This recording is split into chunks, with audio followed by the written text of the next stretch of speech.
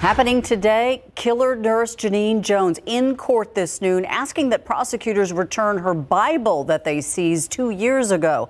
That Bible, along with an address book and some letters, were removed from her prison cell following her 2017 indictment. She was charged in five new infant deaths here in the 80s. Prosecutors do not want the items returned, claiming they may contain evidence relevant to those cases.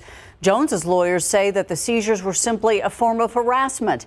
The judge denied her request to have the items returned, but then ordered that prosecutors provide Jones copies of everything that was seized.